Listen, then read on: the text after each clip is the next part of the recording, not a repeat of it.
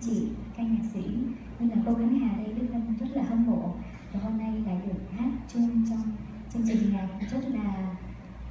kỹ lưỡng và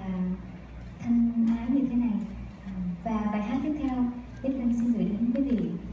đó là một bài hát mà có một cái dấu ấn rất là đặc biệt đối với Bích Vân. Đây là bài hát cuối cùng mà nhạc sĩ Phạm Đình Chương đã sáng tác trong sự nghiệp của mình. À, phổ thơ của nhà thơ Kim Tuấn.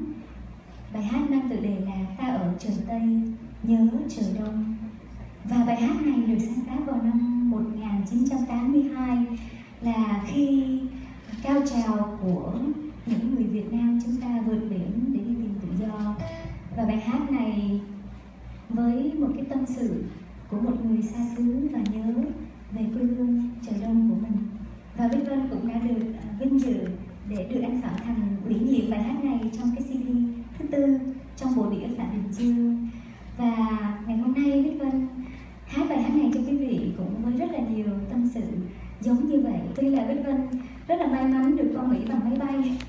chứ không có phải vượt biển nhưng mà Bích Vân cũng như rất nhiều người Việt của chúng ta để lại tại quê hương rất là nhiều tình cảm, nhiều bạn bè, nhiều gia đình. Và khi hát bài hát này thì Bích Vân không hiểu sao lúc nào cũng nghĩ đến mẹ Bích Vân đã qua đời ở tại Việt Nam.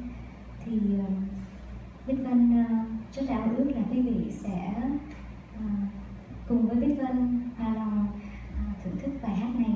một sáng tác cuối cùng của cô nhạc sĩ Phạm Đình Chương ta ở trời